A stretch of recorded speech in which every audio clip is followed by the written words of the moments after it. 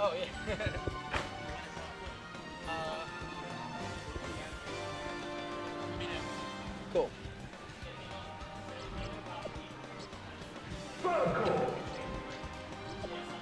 All right, so I, being an Ice Climbers player, don't have a great deal of expertise in the matchup we're about to see, which is why we're bringing in Alpha Dash, who has a very, very strong Falco and Fox, and is uh, one of Professor Pro's training partners. So he can drop drop the knowledge on us. How's it going, Dujan?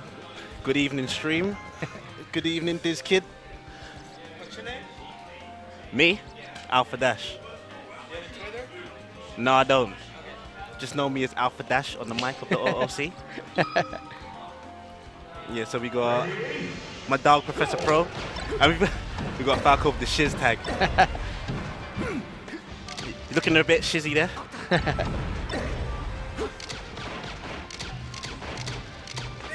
Who is he playing at the moment? Uh, this is Chain Ace, Chain Ace. the, the tournament host. All right. So you must be doing well to be this far in the tournament. Oh yeah, it's a great. Is this semis? Uh, I'm not sure. I don't have the bracket on hand. I think it might be. Taking the first the first stock quite early. Have you played Chain Ace before? I've actually never played him. No. I would very much like to. This is the first time I'm actually seeing him play. Because I haven't had a chance to like really follow the American scene that much. hmm But he seems to be doing pretty well anyway. Got some, some shine pressure going on.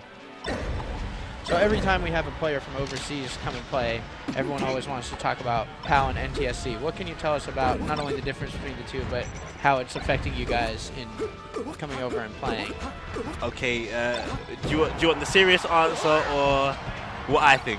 Maybe a little bit of both. Okay, serious answer, NTSC broken. absolutely, absolutely broken. But, um, you know, it is different, especially with the two characters that's playing on screen now. Um, Falco's down air, that's like one of the major ones. Oh, great Um, tech. Wow. Nice. Oh, we've got chain grab going on. Yeah, so Falco's down air. Um, the spike lasts throughout the whole animation, whereas in PAL it has a weak hitbox as well. Hmm. So therefore you kind of have to time your down air. You can't just throw it out. Nice full tilt from Prof. And uh, the difference is with Fox now, he's got a longer up B in NTSC. Uh, he's got a stronger up smash. And that's pretty much it. But those are like the two important things about about, about Fox anyway. Right. Because obviously it automatically makes his recovery better, and it also makes his kill potential a lot better as well. So how long does it take uh, to get over the the jet lag, so to speak, of changing To be fair, changing versions? considering well with jet lag, considering I came yesterday, like I'm pretty much over it already. Yeah. So it just depends on if you're like used to traveling. Yeah. Nice little Prof back in the lead. I think this is the first lead that he's had during this game, isn't it? Uh, you know, he might he might have had one a little earlier, three to two, but it's definitely been really close this whole time.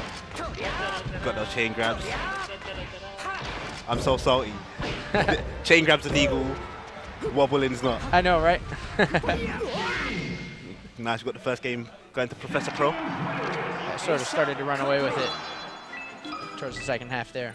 Yeah. That UK commentary though.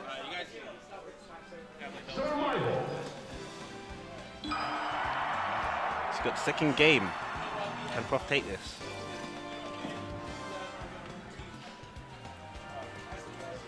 Where do you reckon they're going? So it looks like Prof might have banned Fountain. Chain Ace takes Quite Pokemon. yeah. I'm surprised he's taking him to Pokemon Stadium because it's like pretty much a good Fox stage. You would have thought you'd taken him to Yoshi's Story or something. Right. Well, we didn't really get to see how he interacts with the platforms at all, so maybe that's not his style. Yeah, true. Oh, uh, wow. Oh, my goodness. Sniper. Doesn't get the kill. Cross back on. Oh, Wow, that's okay. strong opening from Chain Ace. Very strong. I'm actually surprised at what I'm seeing.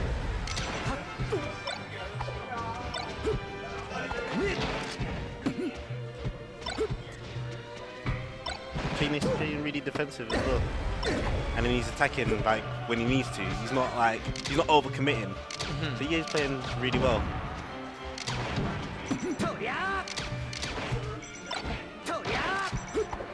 Oh. You're gonna see so much pressure between these two. It's like one they just don't want to get hit.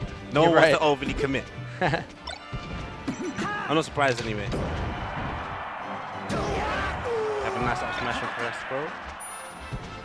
Even in the stocks out, but much percentage. Wants to take as much percentage as he can, really. Nice tech.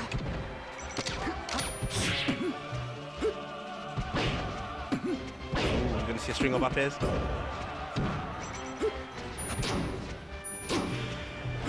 Nice tree save from there. Have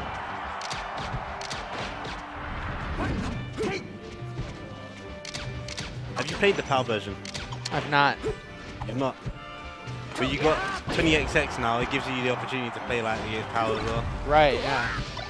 But it's so much easier. PAL is, is an easier game. Well, for certain characters anyway. If you're playing like the characters who are just buffed in NTSC, then it's obviously going to be harder.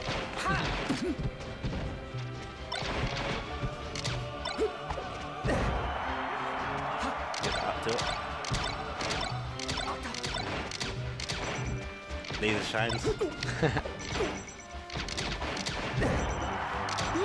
full tilt. All right, stocks evened again. This is an even game between these two. We were at two stocks apiece last game, and then Prof ran away with it. Let's see if Chain Ace can keep this momentum. So I take it Chain Ace is from New Jersey then. Yeah. Yeah, he's one. He's one of the big TOs out here. Where does he rank? Uh, I'm not actually sure. He's yeah. Jaxel tells us that he's a scrub. That's what our intel is saying. And until we're told otherwise, I guess we have to assume that's the truth.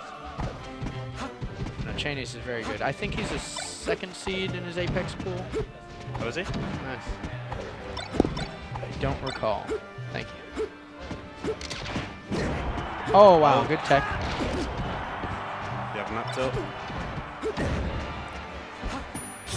Oh. I want to see some more mountain pressure.